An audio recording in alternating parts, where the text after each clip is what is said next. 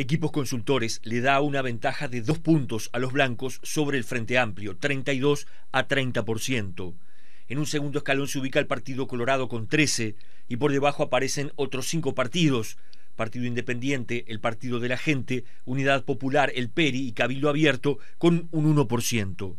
A su vez, hay 5% de los encuestados que dice que votará en blanco o anulado y un 15% de indecisos.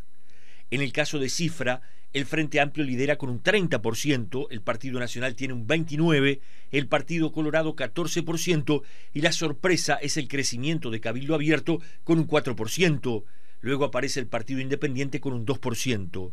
En la encuesta la cantidad de indecisos se ubica en el entorno del 15%.